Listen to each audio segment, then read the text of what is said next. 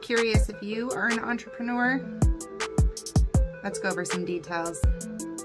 According to Investopedia, an entrepreneur is an individual who creates new businesses, bearing most of the risk, but enjoying most of the reward. Do you have a ton of ideas, but not sure where to start? Does fear keep you bound and stuck? Keeping you from your goal, your vision? Everything we see starts with an idea. And so all of those ideas started with a risk. They had to overcome their fear and step out, try something different.